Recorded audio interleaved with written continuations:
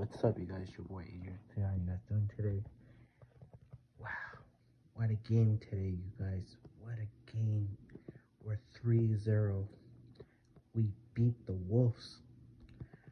Good job, Mavericks. They did a great job with our best player. He got hurt during the second quarter. Miami, the first or second quarter. Hopefully he feels better.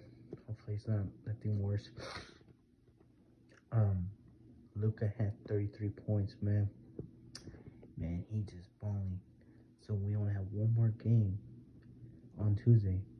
We'll have one more game to go to go to NBA Finals. We have been going to finals since 2011. And for the Mavericks, I think they're going to pull out the win on Tuesday.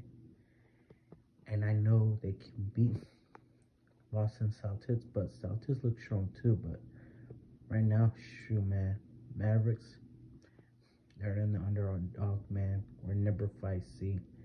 We don't know we're gonna accept anything, but Dallas, man, they take it all. So we have one more game, one more game to go. Let's go, Dallas. And Luka, he's gonna win the MVP for the Western Conference Finals because he he did good. He was up and down. We're gonna bring on. So let's go Dallas. You know, Boston has a good team, but they don't have like we do. But we have a good offense. We get a little bit defense, but you know what? Jason Kidd, give him a credit. He is a good one of the good coaches.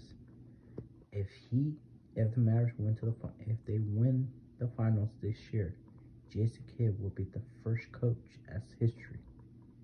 And he was when he was in Mavericks, he won the championship when he was in Dallas.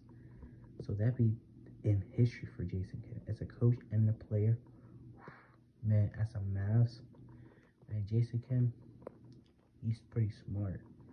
He knows about everything. I know he was struggling when he was in the Nets. He was struggling with the Bucks, but now, now he's in the Bucks. I mean, he's in the Mavericks. I mean, he's teaching Luka to be a best player ever. Go, Dallas. We can take it all this year, baby. I'll see you guys later.